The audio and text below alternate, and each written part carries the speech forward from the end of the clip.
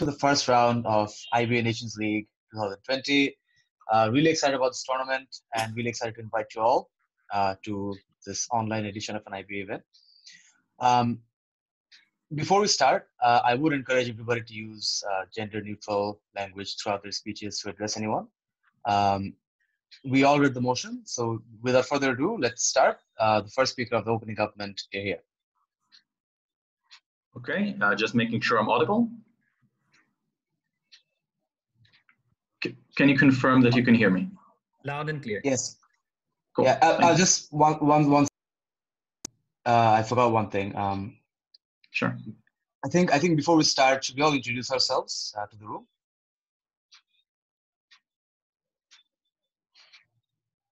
Uh, I'm I'm Tausif. I'm chairing this round. Uh, paneling with me are Amira and Nicholas. Uh, can we go around the room from OG to CO? Can you all introduce yourselves, if, if that's okay? Good for you. In, in opening government, uh, Ayal speaking first, Roy speaking second. Opening opposition, Sarah speaking first, um, Benji speaking second. Okay, uh, closing government, um, Ashish and Shermay. I think I'll, Can people hear me now? yeah, I can hear you.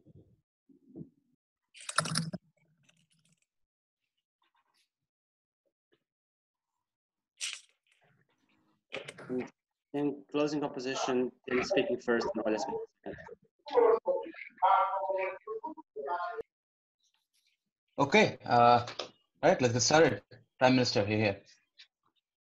Thank you. Just uh, please, if everyone who is not this, uh, speaking can mute themselves because otherwise it can be a bit distracting. Uh, and I will start in three, two, one, go. Two points I'm going to bring to you today in my speech. Firstly, I'm going to talk to you about why this is necessary to actualize freedom of religion. Secondly, I'm going to talk to you about why what alternatives exist and why they are significantly worse and why the status quo, therefore, is one that is uh, why our mechanism is preferable to status quo in terms of the justice people actually get. In terms of mechanism, a few points that are important to notice. First of all, uh, we're talking about courts. We're going to discuss a range of, uh, of offenses going from uh, disturbing or speaking du- loudly during prayer to extramarital affairs or even actual felonies.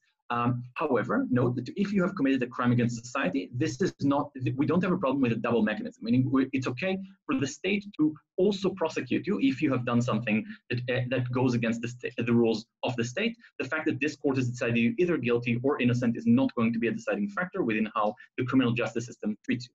Thirdly, they are only allowed to punish you through things like fines or communal sanctions. Like they can say, you need to pay this person this and this amount, or they can say, we are going to, uh, we're going to uh, boycott you for this amount of time. Nobody should buy from you, things of that sort. Uh, fourthly, uh, the judges in this court are going to get state uh, uh, state recognition. They're going to be uh, to get state training, and the, uh, the record the uh, discussions of this court are going to be recorded to make sure due process happens and these uh, sort of things. If it's very very basic rules of procedure have uh, that uh, correlate with this religious community have not been followed, you're able to appeal uh, through that. Uh, we uh, there is an, obviously also the necessity to give you a lawyer to represent you, someone who knows the, the rules of this religion, just like in a state court. And finally, we're we assuming this debate does not happen within religious states that already have these sort of mechanisms. Uh, if- to the extent that it does, we believe it happens in states that have, uh, let's say, a, that already have uh, that will also give other religions the ability to do so. So let's say if a Muslim country that has Sharia courts will also need to have Christian, Jewish, whatever, Buddhist courts uh, in its jurisdiction, are there clarifications? In terms of legal representation, i.e., lawyers, who are these people in particular? Are they state appointed lawyers or are they religious officials? Uh, they are religious officials sanctioned by the state. People who have the relevant religious training, but have also been certified by the state, just like judges, everyone else within the sort of courts. Let's talk about actualizing freedom of religion. We say most religions are uh, not only measures of personal salvation, but also a communal framework. It means nothing to be Jewish if you don't have at least nine other Jewish people around you with which you can have a minyan, meaning pray together, and your prayer is just deemed not accepted if you don't have that community structure around you. In Islam, the same thing. You, a lot of the a lot of the religion relies around the notion of we are living as a community, we are making laws around our own community. The ability, therefore, to enforce standards over your community is a critical part of you being able to be a religious organization. As long as I am part of a religious community, this is justice that I consent to, and this is part of my uh, part of my religious identity, uh, both in the ability of my community to function properly, but in the fact that if it's enough for one person to disrespect the prayer that's currently happening for me, not to be able to exercise my religious fulfillment. But secondly, we also think that for that if I have sinned against my community, I need to be able to atone, which doesn't necessarily happen if I'm not able to be punished in the way that this community deems fit, in the way that the holy scriptures of this religion deem fit. So we're saying that your freedom of religion is denied just by that. But obviously oppositions are going to tell us, wait, what about people who are not able to actually opt out of that religion? We think several things on that. Firstly, we believe that the existence of these courts is now something that you take into consideration when you decide your level of involvement within that religion. And we, we say that is definitely a consideration most people are able to make that say, uh, that what is the trade-off of what I'm gaining from this community as opposed to the things I'm losing. We don't say it's a perfect trade-off, but we believe it's one that exists and people are able to make that way. Uh, note on the comparative that currently we do believe that the great majority of people within a religious community are actually religious whether they have been whether it's because of their completely free choice whether it's because they have been uh, uh, they've been so persuaded by the ideals of this religion uh, been educated into it and so on. Therefore we believe the majority of people are ones that actually do not currently have an opt-in or an effective way of opting in to those religious standards and the rules of religious courts and we believe it's more important to prioritize them in this situation given the fact that there are more people and do not currently have the ability to do it at all. on our side, we achieve a better balance. Thirdly, if you have no power to resist your own community, if you have no power to opt out of it, it's also likely that you're not able to complain and go against your community if they apply other forms of justice on you. And we believe you're going to be under much worse conditions on our side, on their side of the house than you are under ours. Let's get to that right now. What are the alternatives? Let's understand. Your community still wants to enforce its standards on members of it. However, it also wants to, uh, to be included within the general society, maintain good relations with the state, to secure budgets, to make sure that they are well represented. Therefore, we believe that uh, that when they don't have the ability of maintaining their religion, they are likely to go to other mechanisms, which I'm going to explain in a second. But we believe that at the point where you give them this outlet and you allow them to have their own courts, they are less likely to go into forms of uh, into illicit forms of enforcing their justice. Uh, so in terms of the trade-offs, we believe we get a better form. What is that form? I'll explain in a second. But first, I will take a POI from either closing. Do you have anything? Okay, opening them? Yeah, sure. So status quo means that you already have rabbinical courts or courts that can do most of the stuff in the community that you've said, except for maybe levy fines. So where is the actual difference here? And also clarification, how do people opt in or opt out of this? Because you never said that.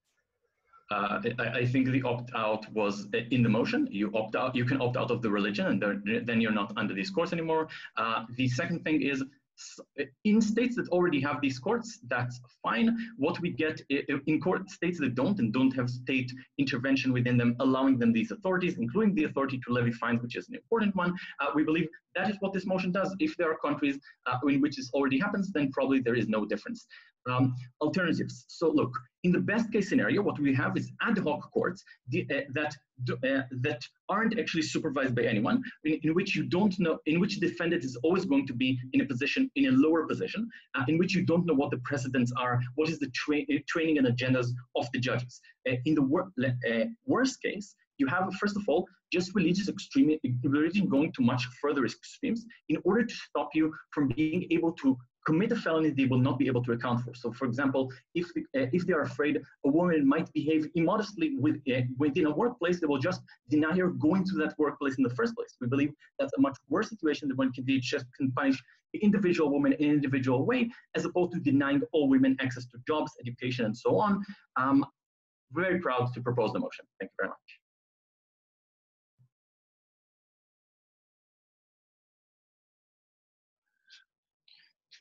All right. Uh, thank you for the speech. Uh, I now request the first speaker of opening opposition right here.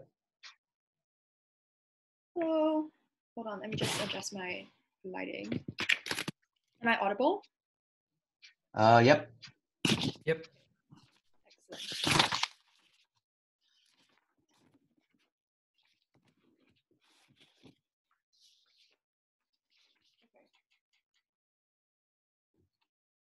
Gonna start my speech in three, two, one, go. Okay, I think this OO, uh, this OG is insane. Um, they're basically saying that in order to opt out of this motion, you have to opt out of your entire religious community. You have to disown your religion and completely like isolate yourself from that community, get out of the community in order to opt out. This is not the guff that we expected coming up from OO, but this is going to be the guff that we engaged in. And we're going to show you firstly why there is absolutely no consent or no meaningful consent for you to opt into this uh, into uh, into this decision anyway. Secondly, why this is the state going way too far in giving authority to religion and why that makes it very hard for you to regulate religion and ensure that they behave in appropriate and good ways. And lastly, some discussion on the alternative of state courts, specifically addressing uh, OG's claim that if you have no power within that religion anyway, you wouldn't have been able to like um, complain about the religion or complain about the abuses. We'll show you why that is possible on our site through state courts. Uh, most of my rebuttals will be integrated. Firstly, uh, a couple of clarifications. So the first thing I want to say is that like the status quo is that a lot of like civil cases can often be tried in things like Sharia law in the status quo, and that's obviously like already something that's happening. In order for the gov to have to propose a new policy, and especially with the wording of the motion saying that we are punishing them, we assume that this is also going to uh, apply to criminal cases, and that this is the state giving up their authority from like, for example, punishing someone as like for like um, theft, and like allowing the religious court to punish that person for theft according to the way that the religious court works anyway. So this is like a either or situation and it's something that applies not just to adultery or not just to whether or not you're following those religious like tenets like prayer or whatever not, but also to like things that are considered to be um, like criminal acts in the eyes of the state. Secondly, I want to just clarify that they are saying that basically you opt in on an entire basis, on the basis of your religious identification. And so the only way for you to opt out is that you denounce their religion or denounce their religious community. If this is not what OG wants to say, they have to clarify this in DPM so that my DLO can engage with that because that is specifically what PM said in reply to our POI. And lastly, I think there are no clarifications for how we're going to deal with cases with minors. So we're going to assume that the parents make that decision for minors, which is usually how we like do parent like parental consent for medical situations as well. I'm also going to talk about how this is incredibly bad for your consent and for your ability to have meaningful religious freedom within a state. Let's first talk about consent, right? I don't think that there's significant consent or like meaningful consent for you to be able to say, yes, I am going to opt into, into this like religious appar- judicial apparatus rather than the state apparatus. The first thing is that most people, if they have like not been in that situation where they encounter the judicial system, especially in specific in that specific case of that specific like criminal act or whatever or not, they will not have a good understanding of how that state system works. Let's note that like the state judicial system operates in an incredibly diverse amount of ways. Your daily interaction in like small claims courts or your daily interaction on like low level crimes is very different from your interaction with the state courts on like larger and more major crimes. So there's no way for your past experience to be able to uh, say that you are meaningfully willing to give up that consent and allow that the religious authorities to like claim that part of your life for like for like the indefinite future. So I think it's very difficult for people to imagine what those punishments look like. It's very difficult for them to get the information for what the punishments look like. It's really difficult with like state um, like institutions that have a huge amount of institutional reach to educate the people about their legal rights and educate them about what those punishments look like.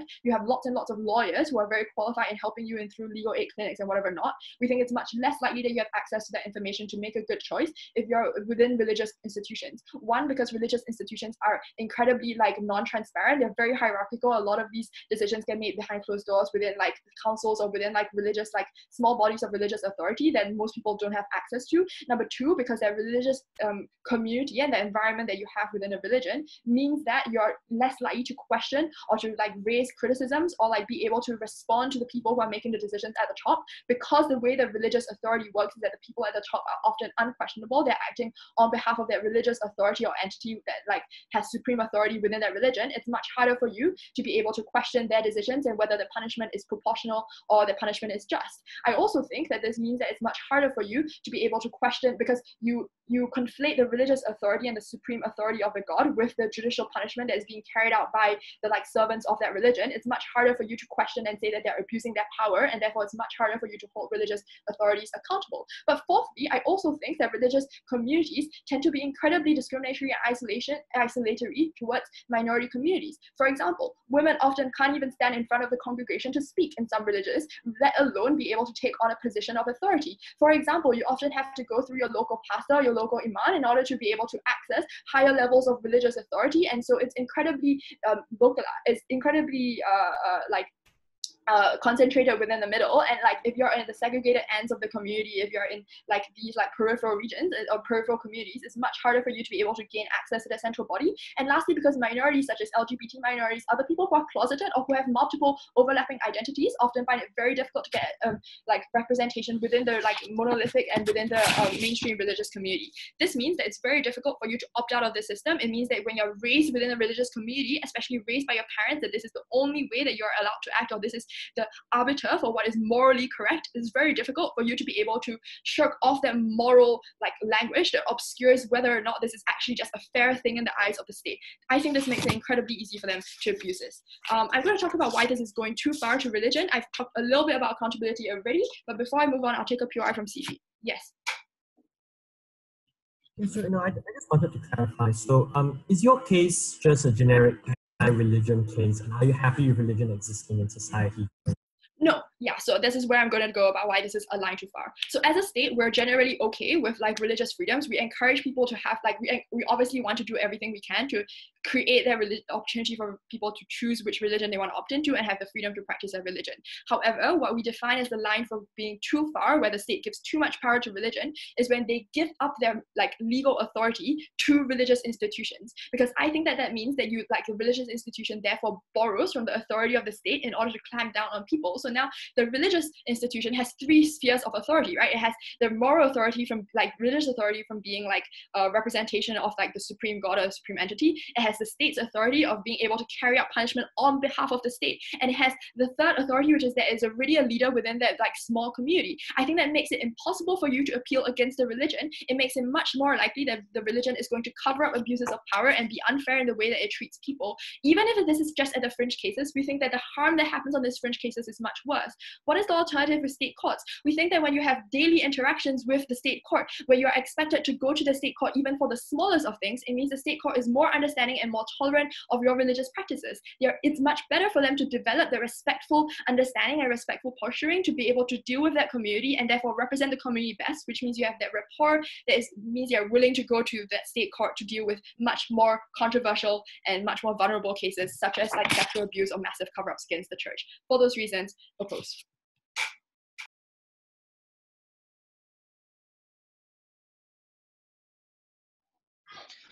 Thank you for the speech. Uh, now invite the first, second speaker of opening government. Here.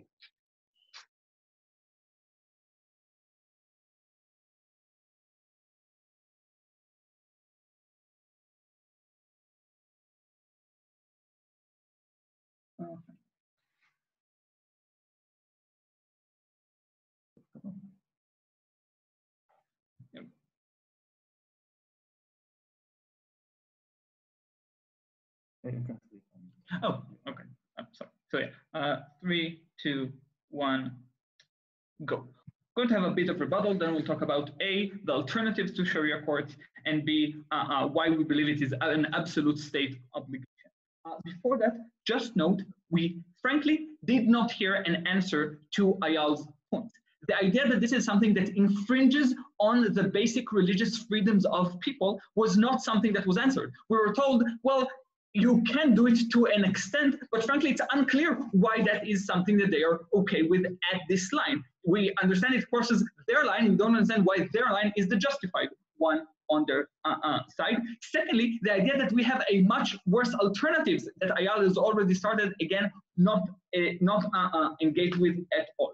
Let's start with some rebuttal to what we've heard. So A, we've heard Sharia courts exist anyway. Yes, this clearly, the motion is about places where they don't. We believe that where they do exist, this is a wonderful thing. Where they don't, this is where the motion happens.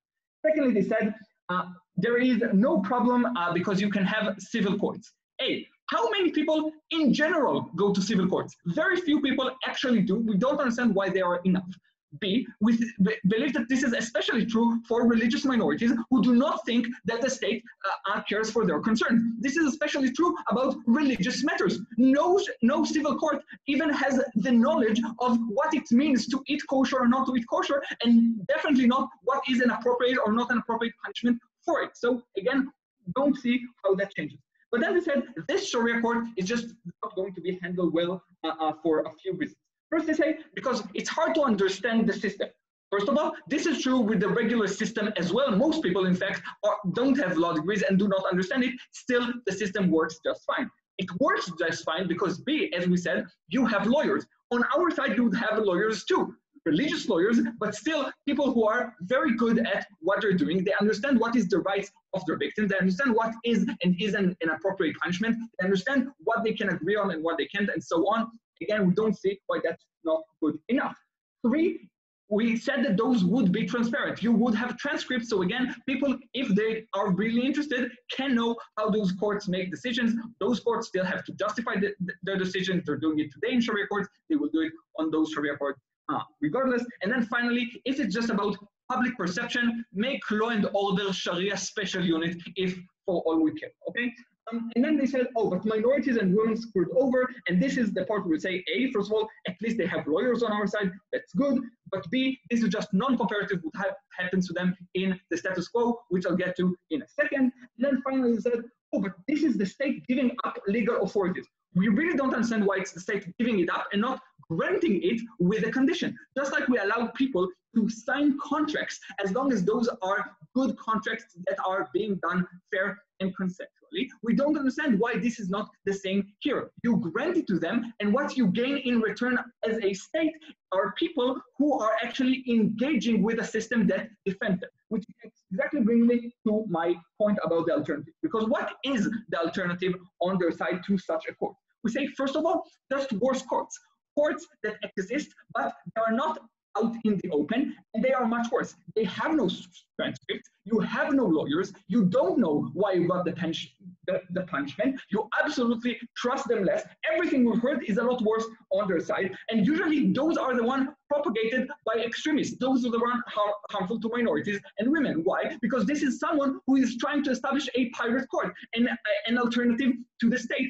This is something that only an extremist would do on their side. On our side, since they are sanctioned by the state and are out in the open, the moderates can actually join in and make their Sharia authority a lot better. But secondly, when you don't have courts, you just have mob justice. This is true everywhere. This is true in religion as well. You have a father who decides that he would be the judge, the jury, and the executioner.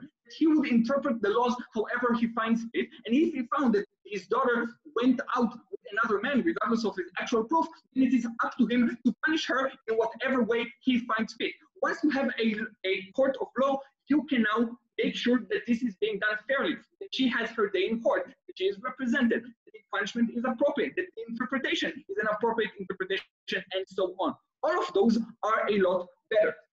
But then thirdly, we said, as again, Ayal said and was not engaged with, the alternative is just harsher norms. If you know that there would be nothing you could do if your daughter were to, to, uh, uh, uh, uh to uh, uh, violate your decree in her job, you just wouldn't let her have a job to begin with. Those are much harsher norms make it worse for minorities, make it worse for women overall. At least on our side, the effect that you can make it on a case by case basis means you're not punishing everyone who shouldn't be punished uh, uh because of, of this very harsh norm.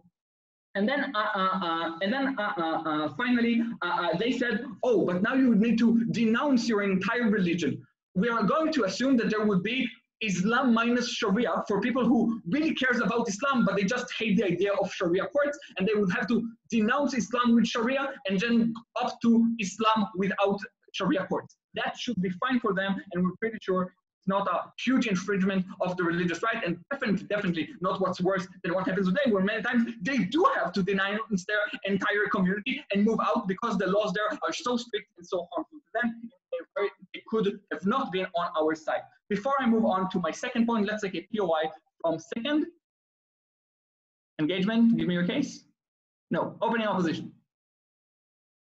Sure. So the answer to like preventing women from going to work is they can get legal emancipation from the state if they have state courts and therefore gain access to their freedom. They can't do that if the state withdraws their legal right to like the judicial system and therefore withdraws legal clinics and Sarah, other. Sarah, Sarah, Sarah, this is preposterous. If I live in a tightly integrated community and I know I would suffer severe consequences from my father and from my community for going to work, I would not do it. On our side, at least I can say, I'm going to work if I do anything wrong, well, we have a court for that exactly. Let's talk just about the importance of courts in society because look, we know that courts are incredibly crucial. Goddamn libertarians would agree that courts are a fundamental part of the state. They are part of the state because they allow you to moderate the people in power and because they allow you to meaningfully uh, uh, uh, uh solve disagreements between parties both of those just do not happen for people of a religious community. The existing courts do not care about the religious people in power because they're not even talking the same language, which is also the reason they can't even sort out basic disagreements. So we have an entire population that isn't getting a basic service that the state ought to give them. And for that reason, we are absolutely proud to propose.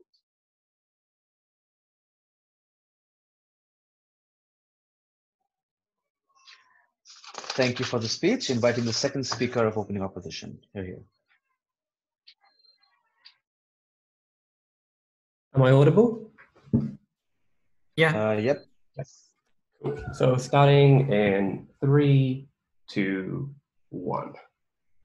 It's interesting to have an OG which is both super cowardly in places and just cuckoo banana pants in others. So I'm like, they get the worst of both worlds by doing this. So where are they super cowardly? So basically, what they're saying, what they don't seem to understand, is that most of what they say is just something which is not only status quo, but also something that opening opposition can be fine with. And this is what we're saying, as in if there are community courts that exist without any state power that like impose things such as like um, uh, like you're not allowed to go to you're not allowed to go pray with other people you're not allowed to go to these like you're not allowed to do things which have the community enforces that exists today that exists on both sides that's not the motion right? And that also is the ability of like all of the religious freedoms that they very underanalyze. They can just all get that all of that today under the community stuff what they had to do was explain to us why we needed to give them state power to do additional things, which is where they actually need to go into the, the part of that, the other part of the case, which is cuckoo banana pants, is the idea of just like, oh, you have to opt out of your religion in order to do this. So like Schulman tries to pedal back madly from Ayal's like from Ayal's original answer. But to be clear, this also means at the end of the day that the ability of people to opt out of this is incredibly, incredibly limited. From the moment I was born into this community, I have to leave my entire community in order to get out of doing things. And again, not for having community punishments, but from being punished by like actually having my livelihood taken away by a court and double jeopardy apparently under their weird mechanism because the state can also do this as well. So I'm going to go into a couple of things here. I'm going to go into explain to you why people will be able to go to the courts, and I'm also going to be talking about the comparative. But a couple of like a couple of answers before we go into this. So the first thing about they're like, oh no, but people don't have the ability to practice their religion. Literally, the only thing that Ayal told us here was like, people need you know nine other men to, in order to pray together. There needs to be community boundaries to do this. Cool. Most of this stuff can happen under community courts that exist, but also it's incredibly unclear to us why it is that you need to have the ability to enforce every single one of your laws in order for you to be able to practice your entire religion. The fact is that most people don't do this today. And I'm also going to talk about like why laws change because of the interaction between people. The other thing that they said, like the other thing that they, uh, oh, I, actually, this is the only thing which is like external. So let's go into this, like why people will go to the courts anyway. So like we've already said that like community courts can exist on both sides of the house and isn't really the debate. But like we say that in order to for criminal court, for things which are like the state needs to be involved in, we would want the state to be there and for these state courts to exist. So they go, oh, this is ridiculous. Uh, the crazy communities will never go there. Look, this is so uncomparative. If the only people that they want to talk about from their side are the crazy religious communities, then these people aren't going to interact with your new state ordained courts as well, right? Like they're not going to have your beautiful transcripts. They're not going to send in lawyers. They're not going to do any of that, right? Because if they really hate it this much, it's just kind of ridiculous to assume. And even if they do exist, they're not going to listen to anything that kind of goes on there. Like most of this debate is happening in a place where there is interaction between the state and the communities, i.e., like 90% of religious, even fairly closed off communities. So what happens here? So first of all, like the state has an obligation to go in this. So like they need to do outreach and training for their people. There needs to be like local communal courts. Like, oh my God, this is what exists basically in most places. As in like in even in like places fairly insular places, religious parts of like London today, like East London, there are like local courts. The magistrates there tend to come from the community. There tend to be lawyers and stuff which come from there. All of these things, and there tends to be interaction with the state to teach people how to do this because the state has an obligation versus the education which they're currently kind of pushing on towards us. On the other hand, the community. People, because there's a minimal amount of trust, people are going to court for like small stuff, as Sarah tells you, and is never answered, learning about the court system, seeing that it's not that scary, and that builds up a trust in the system, which means that you can actually get to then also going for like the bigger things, such as like the abuse in the community, the problem in the community, everything else as well. Like there's a gradual build up. But also note this works on the religious community level. The thing that they miss there, and again, like by just trying to propagate religious people is crazy, is just that people aren't that. Religious communities, and especially their leadership, interact with the government all the time. In fact, they tend to interact with the government a lot more than other people. Why? Because they're dependent on government services, such as like such as like healthcare and services, because they tend to be poor, like poorer communities, and therefore they really actually rely on social benefits and stuff from the state, which means that there is buy-in and interaction even at this level, which creates the ability and means for them to kind of interact with them and to create this in a, kind of back and forth, which means that they, the state can say to them, you can't be that ridiculous. You have to allow some people to go to court. You have to allow for some mechanism. This is just like how like common sense status quo of what exists in most places, except for the most extreme crazy things which Schulman tried to make this case about, which just isn't really that relevant. So what is the comparative here? The comparative is to a place where there's no accountability. Their answers is like, ah, ha ha, we said transcripts in the courtroom. Wow Cool, guys. But if the actual laws themselves are not being written in the beautiful courtroom, but they're being written in small insular places, then those laws, right, are written by a tiny group of people, a tiny group of men with like with with, with who you have no ability to interact with or, or go against. So even if you have transcript, what's it going to tell you? We followed Sharia law that was written somewhere else, which meant that a woman doesn't have a right to speak it. Cool, great, not helpful for us in order to actually get accountability. We're saying that if the state gives you the mechanisms of power to enforce itself, on top of everything else the religious communities already have, there needs to be the ability to hold accountability and to push back against that. You don't get that, right? You don't get that in this kind of mechanism that sort of happens here, which is why we think at the end of the day that you need to have basic forms of accountability in order to hold in order to hold these people up to, in order to hold these people accountable. I'll explain a little bit more of that in a second. We're going to take closing why does the state involve itself with the enforcement of contracts between private individuals? Why does the state do that?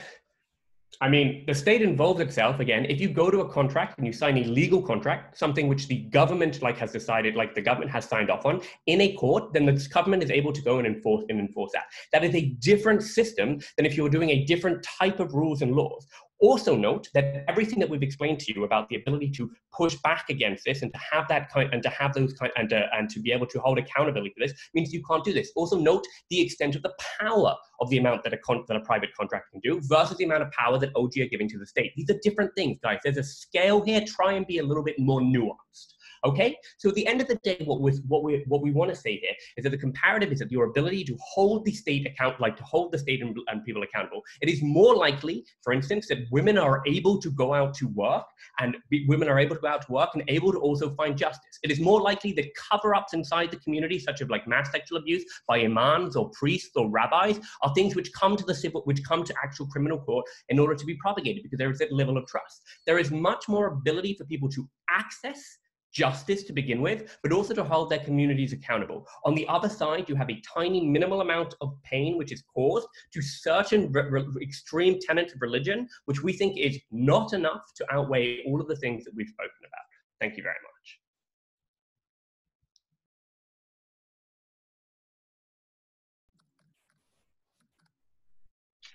Uh, thank you for your speech. Uh, I now invite the first speaker of closing government.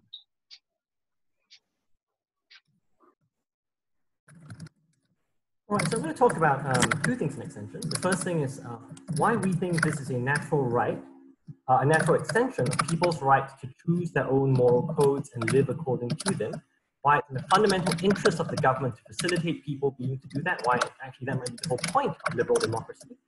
And while you know Ayal, the wonderful person he is, gave a wonderful explanation about this from the communal level, I want to talk about how this applies on a very individualistic level as well to talk about how this actually protects vulnerable minorities and religious communities and also allows for judicial processes and norms to become more widely accepted in countries where state secular judicial organs are often weak and these sorts of courts can help to fill that gap. Um, since Benji reminded me to be nuanced, I will also try my best. So firstly, let's talk about uh, liberal democracy. We think a fundamental premise of liberal democracy is that the government has no right to dictate to you um, your personal moral beliefs, your personal sense of right and wrong. That's because these are questions that are inaccessible, unmeasurable, and unfalsifiable. Therefore, government allows people to determine what the best form of like, moral codes by which they can live, unless they cause third-party harms to other individuals, right? We think this is fundamental. Why is it that as a result of this, you need to be able to, you know, um, like contract your rights of enforcement to these courts? For a couple of reasons. The first thing is because we already do that in the norm. Oh, should I pause? I hear someone not being able to hear me because um, can we can we can we please uh, pause for a bit? Yeah, we can't hear a lot because someone's typing really loudly. Um. Yeah, so I, nothing. uh, all right. Well, I'll, I'll give my entire speech again. Who is typing? Actually, I was gonna mention is like that typing uh, noise seems to yeah, come from your microphone, Ashish. Sorry, I'm not typing. Um, I think Ashish's mic yeah. is the only one that's on. So. Yeah. Uh, Ashish, uh, is your is your Discord on like at the same time, and is someone typing there maybe? Um, I don't think so. Let me try and. Wait, someone's typing again. Where's this? Yeah, it's, uh, it might be a problem with your mic, Ashish. I think it's on uh, Discord. Um, Naomi is typing. I'll mute her. Um, I'll mute them in a second. You can also deafen yourself in Discord. Offline. Discord isn't even open on my comp at the moment. Yeah, I just straight up closed my Discord as well. Yeah, so I don't know where it's coming from. But I don't hear it now. You're typing now, so shall we just do this again? Yeah. Yeah, I think it's fine oh, now. We do that, yeah. Um, all right. Okay, so two things in extension. Uh, firstly, why we think this is a natural extension of people's fundamental right to decide their own moral codes and to live by them, and why the state has an interest in facilitating this. Secondly, why, especially among conservative religious communities, it actually offers more protection for minorities and actually helps to introduce to people useful judicial concepts like procedural fairness, like evidence, like appeals, especially in weak democracies where institutions of state judicial organs are weak. Firstly, therefore, let's talk about the stuff about liberal democracy. We think that in a liberal democracy, the government is fundamentally agnostic about what right and wrong is within your personal sphere, about what you do to yourself. That is because right and wrong is fundamentally inaccessible, unmeasurable, and unfalsifiable to the government. So the whole point of liberal democracy, secular liberal democracy, is to give you space to discover that on your own. We think the natural corollary of this is that you have a right to put in place a system of punishment and reward that you think will best allow you to live out that personal code. I like to point out this is not a radical idea. People do this in their ordinary lives all the time, right? If I sign up for a gym membership, which is expensive, I do it because I think that might coerce me to go and exercise a bit more. If I ask a friend when I go to a bar to stop me if I'm already quite drunk, that is me outsourcing my personal freedom to someone who will enforce that on my behalf. The challenge coming from the opening opposition, I guess, is well, then why does the state get involved? Why is community not enough? We think that massively understates and uh, misunderstands the importance of religions to people's lives, right? It's a fundamental part of their welfare. If you believe that you are a sinner, and for that you are going to burn in the fires of hell for eternity, that is psychological torment, which any reasonable state would believe you have a right not to be subject to. That is why the state regularly puts in place things which merely facilitate your vision of the good life. That is why Benji had no response to my question about why the state enforces contracts. Benji said, well, the contract is state approved. The state should like enforce it.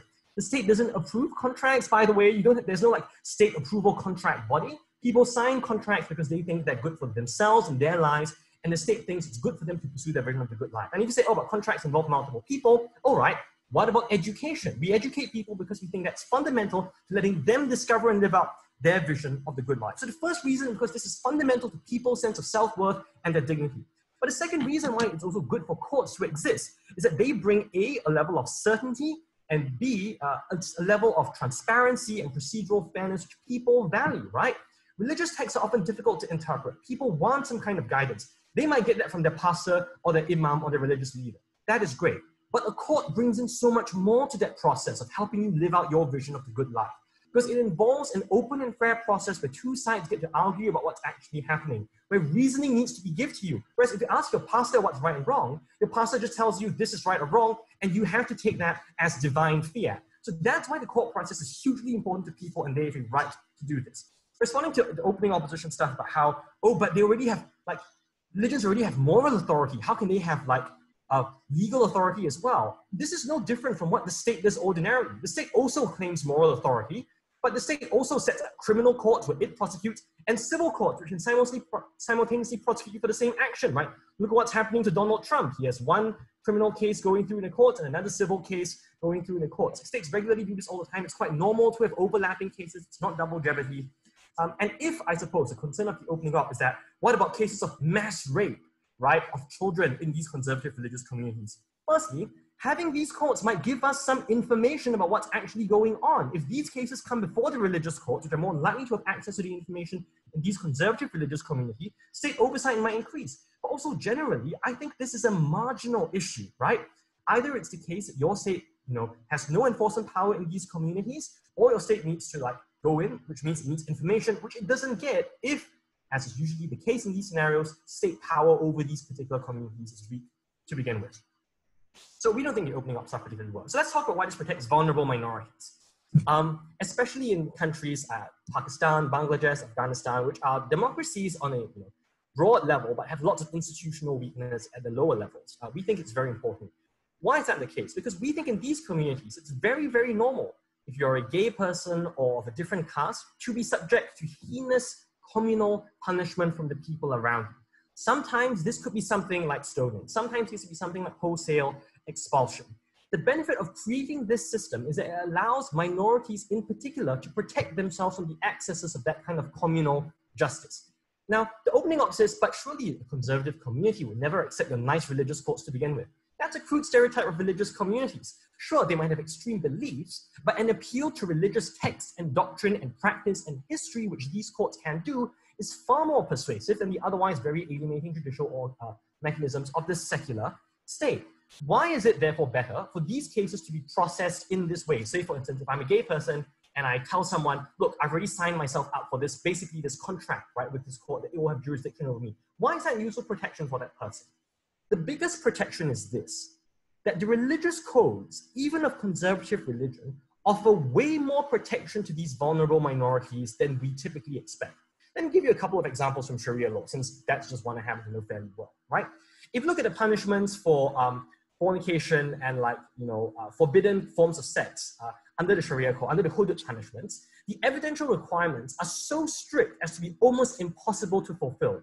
You need four eyewitness events for the actual penetration itself, not even camera footage, actual eyewitnesses, right? So unless you did this in public, then it's impossible to prosecute. And those four individuals need to be what I call adil, right? Like morally upright individuals who do their five prayers, who have never been convicted of anything else, have never committed perjury, and also for things like uh, theft or murder, you can you know, give compensation uh, as opposed to get punishment. So in many ways, it's actually a fairly liberal regime, right? At least at the procedural level. Diverting cases of minorities to these courts affords them that kind of protection. That's critical because these are communities who live in almost eternal fear of being discovered and being summarily put to death by the community in which they're embedded. Now, at least they have a defense that an authority which you respect or respect more than a secular state has said, I should not be punished. That's protection. But it also means that these communities are now introduced to concepts which are often within these religious codes. Concepts like evidential burdens, like innocence beyond, uh, you know, proving your innocence beyond all reasonable doubt.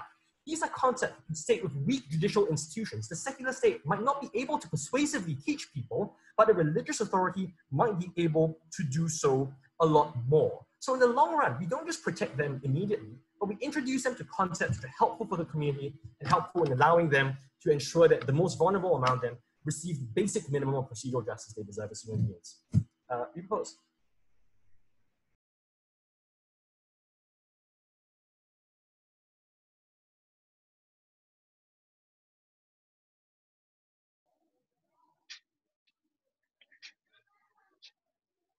Right. Um, thank you for the speech. Uh, inviting the next, uh, the first speaker of closing opposition.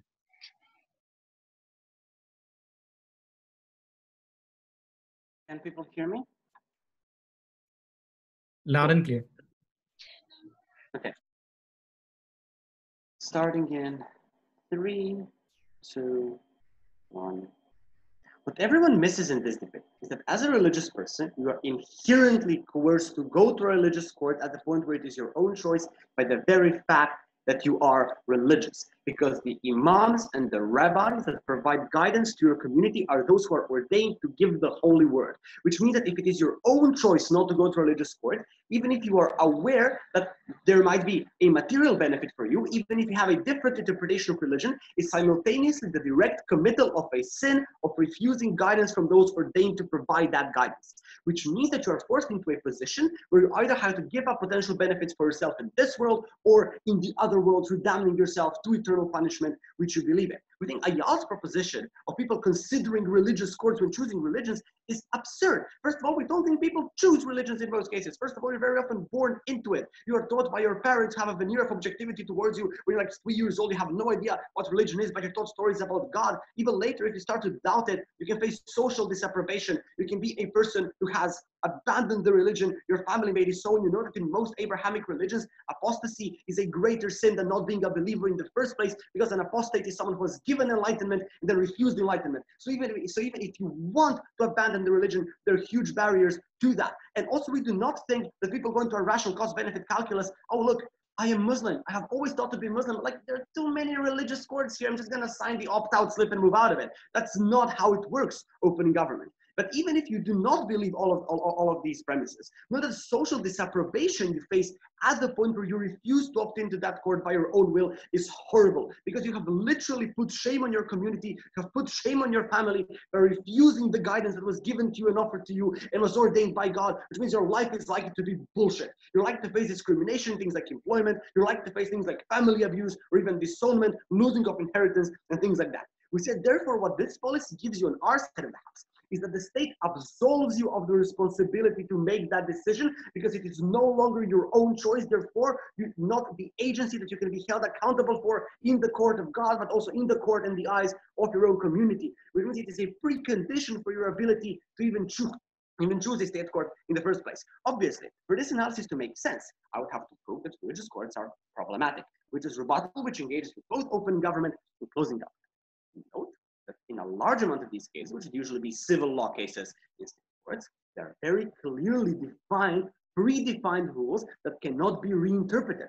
How inheritance is supposed to be redistributed between man and woman is very clearly in the Quran. How you are supposed to dress in order to be good before God and to be modest before God is very clearly defined in the Quran and in the Bible the idea of how you're supposed to care for your children what gender roles are supposed to be is also very clearly stated in Holy Scripture. This means that inherently, a lot of those rules cannot be reinterpreted because they're stated as explicit rules which were given by God to Moses, like the like the, the law of Leviticus and so on and so forth. This means to respond to Ashish, there is no plurality of conceptions of the good because the conception of the good is a priori given, which means if you want to make a case for yourself, to make a reinterpretation or to run your material, to run like a material benefit for something that you want to do for yourself, which I think is completely legitimate and adheres to Ashish's conception of the plurality of the conceptions of the good. You're unable to do that because there's an a priori law given from a divine authority, therefore unquestionable and uninterpretable, which means that if you are on the wrong side of that, you're automatically losing your case. But secondly, and even and even worse, your own counsel is biased against you because opening government says we have religious officials being your defendants. But religious officials very often will not be able to defend you if defending you goes against their own religious beliefs or the beliefs of the church they belong to and they want to progress in because they either have spiritual or material reasons. Similar things happen in Thailand, right? The reason why people very often lose the lèse majesté cases is because Thai translators, in order to translate in a lèse majesté case, have to translate insults to the king, which spiritually cannot bring themselves to do. This is the analogy it's probably going to happen here. But lastly, even if you get a positive precedent, this precedent is not likely to be followed in the future because it's going to be seen as an outlier. We see this in Christianity right now, like literally Pope Francis, who's the fucking Pope, so there's no bigger authority, is denounced by local bishops, like in places like Croatia, like the, like Croatia, like I don't know, uh, Hungary and places like that, as a person who is too liberal, who has strayed away from the true path of the religion. Now, if this is not someone like the Pope, it's very easy to ignore a positive precedent.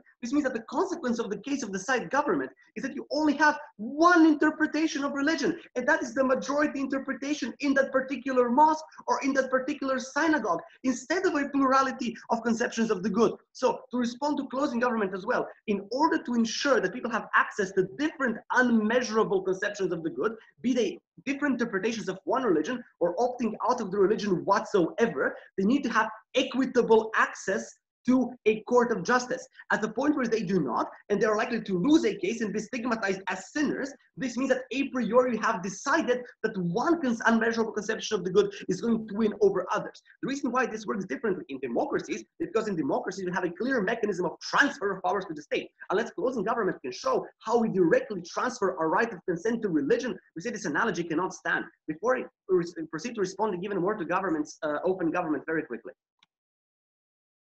Um, yeah, exactly CEO's analysis of why people are so influenced by religion explains why under status quo, these people are coerced into mob justice and kangaroo courts. This is much more important than the harm to, right, your harm to your rights than the abstract ability to fulfill your personal morality. First of all, even if this court happen underground, this means at least we can prosecute them. If we get a fucking tip off that this is happening like in, I don't know, the basement of a mosque, we can go there people. And these because you go, you have witnesses, you have processes where people actually talk of the atrocities that were committed. And also this means that the punishments which are meted out by the court are also illegitimate, which means you can you actually have the right to appeal on our side of the house because the punishment in it of itself is illegitimate. But secondly, people want harsher punishments than like just levying fines, which probably happens, that, that still happens anyway. But but but then OG says is ah, but you need to have the right to like control religious community and shape the rules based on your perception of religion. And CG repeats that.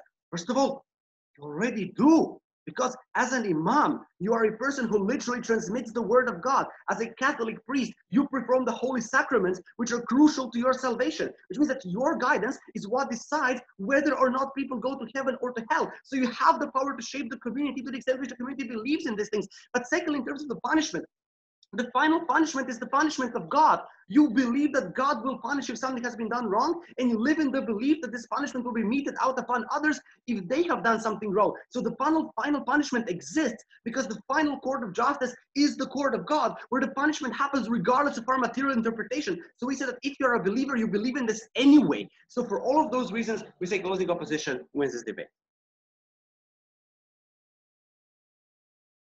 Uh, yep. Thank you for the speech, and I invite the second speaker of closing government.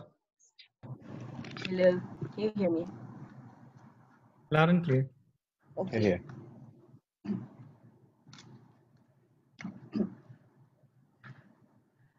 I just want to deal with one thing that is a bit extraneous that happened the last minute of the member of opposition speech before I go on to explain why their extension just doesn't deal with whatever Ashish has already said. And it's in fact, I think, even less comparative than what the opening opposition did.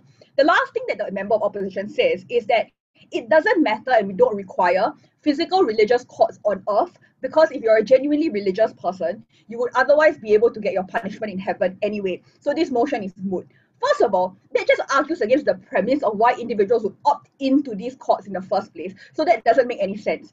But secondly, religiously speaking, people tend to see their lives on earth as a test for them to be able to enter into heaven, which means that all of the harms of psychological torment at the point at which you believe that you're not getting just punishment for what you have done wrong in this physical space brings you to hell continues to apply in either scenario. So I think arguing that these religious courts are bad because people would think they will get their punishment in either scenario anyway sort of undercuts the entire premise of the closing opposition case.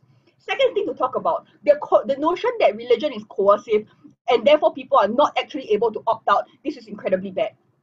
I think it's something they share with the opening opposition as well. Now let's talk about this concept of apostasy. And I think here it's important for us to note that context matters significantly when we talk about the amount of coercion that there exists for you to remain in or outside of your religion. So you can't just presume that coercion is equal regardless of your religious beliefs. In situations in which your country is fairly liberal, then we think that you have a equal ability to both opt in and opt out of those religious courts. This is crucial because it makes our extension incredibly important. In that, in these scenarios, if you're opted in, this suggests that religious punishment is incredibly important to you as a religious individual and that the state needs to give the extension of that particular right for you to be able to actualize those religious beliefs that you have in either scenario because the state doesn't have the ability to tell you that only one form of court is correct and only one form of court is good. We suggest that given that we give you the right to act like already practice your religion in private, we also give you the right to be able to be punished for yourself in private. These are things that we should already allow for these communities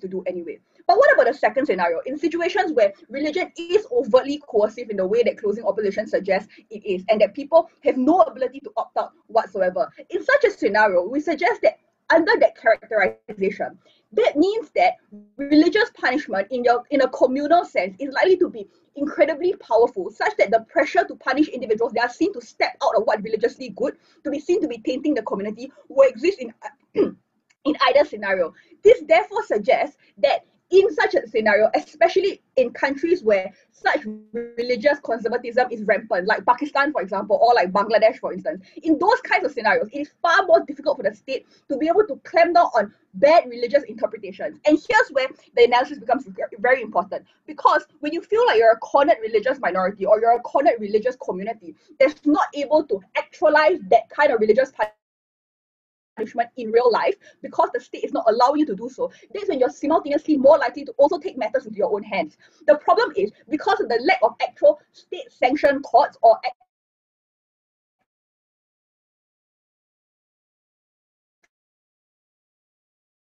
procedural justice that can be there. Also because there's no exorcism in a desperation to ensure that their community continues to go to heaven. We therefore suggest that in these scenarios, it is always better for you to have a religious procedural justice in place in order to ensure that at least some measure of fairness along the standards of your religious beliefs is meted out to these individuals as opposed to not. So therefore, you can't just take this in a like vacuum with regards to no context. You need to you need to explain why is it that when coercion is that bad, that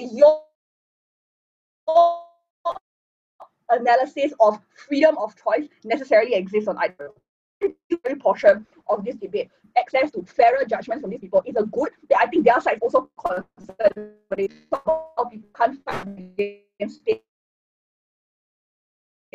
laws. Let's then look at the principle whether or not these religious courts are to have. So the OO and the CO have like two like quibbles with this. The first thing that they argue is that this is about this is now a scenario in which you are not able to reinterpret what the laws are, and therefore you don't consent to these laws, but you are forced under religious stricture to be put under punishment for these laws. First of all, this just presumes that you have a lot of power or equal power to the state when it comes to having laws that you have to live under in a, in a democracy anyway. The truth of the matter is that even if you theoretically have some ability to say fight constitutional protections, this is not an equal power that you have with lawmakers or individuals who are already privileged in those societies. So if your question is about inequality in terms of access to interpretation, I think that's similar on either side. Um, secondly, religious laws are actually like quite well done, and in fact, in our scenario, we already told you why in fact, putting these things into courts makes procedural justice significantly better because it establishes practices in which you are better able to have an equal say, as opposed to like places like Pakistan, for example, where communal violence is the only and definitive answer to the kind of punishment that you ought to get. But thirdly, most religions already have multiple reinterpretations anyway. So I think it's just a lie to suggest that there's only one interpretation and you will always lose under those forms uh, in uh, in those interpretations as well. Before I move on, um, can we have oh Sure. What both closing and opening miss is that we can have community courts on our side of the house with the ability to enforce to community needs. This solves all of the problems that they have about mob justice, but we've given you nuanced explanation how gradually you get more abuse under your side, where gradually you get more involvement is through non-controversial cases with the state on our side. Please engage. No, but that makes no sense, right? Because the very premise of what we are arguing is that you need to feel like this is something that appeals your religious sense of what religious justice is. Your weird community like court thing that says that we have certain ideas of what you might want to do doesn't meet the standard of what religious people believe to be what is required for them to undergo in order for their community and themselves to be protected from the eternal fires of hell. So the point here to note is this that the religious framework in which people use to decide what is a justifiable punishment is significantly different from the way that secular individuals view religious punishments. We might think they are barbaric, we might think that they are unfair, but they are ultimately what these people believe is necessary for them, and to say otherwise often visits this psychological torment upon these individuals we also don't think it becomes worse because again you have to deal with the counterfactual where the state doesn't have the resources to be able to push these things for these people. Then the last thing to note then is this, that to the extent to which they want to argue about how um, you are not able to fight against your imam and etc for instance and how you're never going to be able to win about these interpretations like if you truly believe in these religious strictures it's uncertain why the state has the ability to tell you that these strictures and ways of valuing like things are wrong. But also, secondly, I think there's more ability for you to be able to negotiate in our as opposed to theirs. We're happy to propose.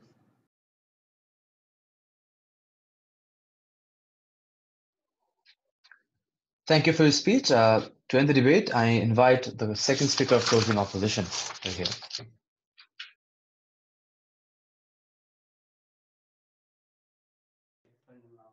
Um,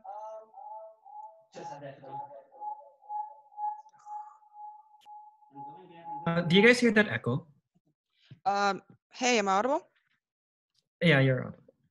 Yeah. Uh, this should work as well. Cool.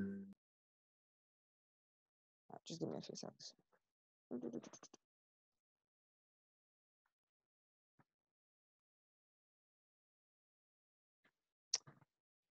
All right, I'll start in three, two, one look, so far this has been a mess. This is going to be very simple. We're first going to deal with closing government and then weigh in on the opening half clash and basically explain what is the crucial comparative in this debate that TIN brings to you. The first thing I want to engage with coming from member of government, which I think is actually quite a cool principle, but I think it's self-defeating. Look at what Ashish necessarily tells you here. When he says the reason why this should be allowed for us to like maximize the people's ability, you know, to uh, actual religion or whatever sort of standing on opening government here is to say this is there is no metric of right or wrong, do not have the epistemic access to it. Government should allow you to have your own way to, so you should be allowed to fulfill your own uh, conception of what is right or wrong. And why? Because this is something that is unmeasurable, right? You don't have an access to it. Look, this analysis might be true for an individual perceiving their own actions and how I'm going to feel after I do a certain action. So this is like one-on-one, me with me. But this cannot be a reasonable argument in the real material world where you actually engage with other actors, right? Because this necessarily answers the question of how we measure morality. Because we often say something abstract but obviously for all of us to have a justice system we have to measure justice in a way. It is always some benefit or harm of your actions had on another actor right? This means it doesn't matter if i think i was in the right if i made another person feel shit in the material that means it's exclusively tied to third party harm which means if logic, logic is true, then this principle doesn't stand. If you don't have an access to other people's preferences of good and bad or what they want to do with their life because it's unmeasurable, you should always prioritize third party harm, which goes against his idea that we should always maximize just to one's or individual's own conception of good. So in that sense, I don't think that is something that is relevant at, uh, at this point. Second thing, when they tell you, uh, but people want guidance and court breaks, okay, so literally this is analysis people want guidance and you know this is not a comparative because people also have their priests but courts bring something so much more tangible. I think this is the same piece of analysis that og bases their case on right? Which is to say that why this is very important for you to actualize your religion is because you need to have this idea of a court. Look I honestly don't think this is the most important metric of you as a religious person that you necessarily need this religious course to fulfill yourself as a person, right? And this is that OG in their own analysis concede. When Ayal talks to you, you need, you know, other people to communicate with you. You go to like religious sermons, etc. Exactly. You already have this status quo. Your relationship with God is the most like uh, like proximate one and most important one you will ever have. I'm not sure why it's necessarily tied to having a justice system court is specifically tied to you, but here's the thing punishment in many cases is not the part of your material experiences for you to be a believer right? Because you are going to either get some sort of compensation in the in the afterlife or you're like the person that has harmed you is going to be punished in the afterlife right? In most of the cases when you commit a religious let's say sort of harm very often it's not automatically going to actualize itself in the material world. It's something that's going to happen later. It's something that you cannot even perceive at this point. So if all of this is true, I don't think that the metric of you need a religious core to be a self-actualized human, like religious person stands. I think there are many other things that you engage in as a religious person in everyday level, no matter if you're Muslim, Christian, or whatever, that are much more important than you to be able to actually go to a court. But also on the comparative, it brings the white foxy over, which I'm going to get into a bit later. But look, and then what they say necessarily on the minorities are going to be more protected at the end of member of government. Look, I think there are two responses to this. The first thing, even if there's like a minority religion like Christianity or Islam or whatever, some people are still priorities over the other. There are minorities that are going to be fucked within the religious minority, right? You're going to prioritize a straight man over a gay man. And I'm sorry, but this is like, if we're talking about this example, right? So look, even if you go, best case for a closing government, even if the gay man goes to this religious court, it doesn't really matter if he wins, right? Because at the point where he engages with this court and he's literally trying to have evidence or he needs no matter, I don't know how many, you know,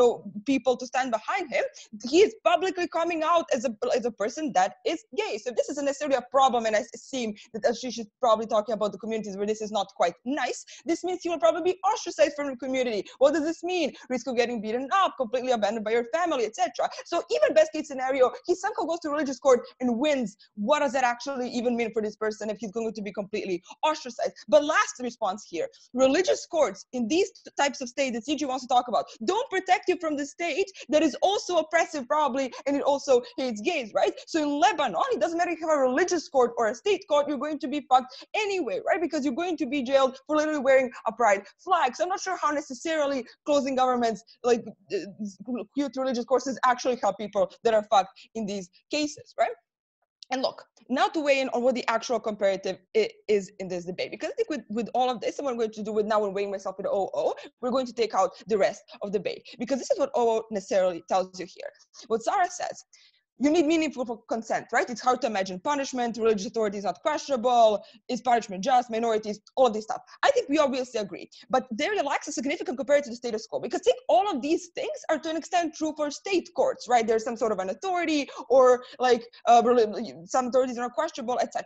What this necessarily brings to you here is an argument which says that the state shouldn't put you between a rock and a hard place into making a decision that will necessarily delete your religious authority and your religious freedom. Before I go into it, I would take opening government. Yes. The only comparative oppositions give is that people listen to their imam and community courts exist. But these courts are, aren't able to levy fines, affect your hiring to a job within your community, or even force you to show up for the discussion. That's why yeah, they're cool. not able to solve conflicts within the community, which is their essential purpose. Okay, look, but this is not about like so so what the comparative is here? We would rather that people probably don't engage with any courts or even if your entire cases that they don't go to state courts or completely get fucked on your side and made to uh, put by the state to make a decision that's literally between a rock and a hard place because it brings you i think four mechanisms as to why you can never actually opt into religion right? I don't think i have to go and have them in your notes right? And also to an extent why uh, uh, uh extent why opting out doesn't happen. But what does this mean? This necessarily means that uh, you're completely fucked on the comparative because i think uh, uh, when you have religious courts, they're going to be a biased against you, which also Nitin talks about, right? If you're divergent from the majority, you know, local imams and the priests are the ones that are actually, you know, uh, supposed to give you some sort of a, a, punishment. They're going to appeal to the majority, right? Which is literally in your model, right? You have set interpretations been set here for decades, which means you're probably going to also be fucked, right? Uh, and also, I think at the point for also CG's case to stand, religious freedoms you need multiple interpretations. This is very often not the case, but most important thing, if you lose the court court case, you're a sinner. But if you choose to opt out or think of opting out, you're also a sinner because you rejected guidance that was offered to you. But if the comparative is the state has a court that you have to go, you don't have to go to this court, it was never your fault to not into it because you didn't have to make this choice, which is the most important thing in this debate. For all these reasons, please vote for the opposition.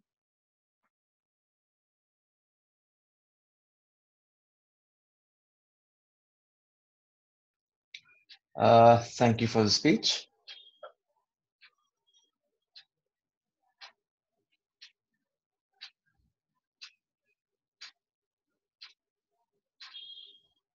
Asif, is that a deliberation room?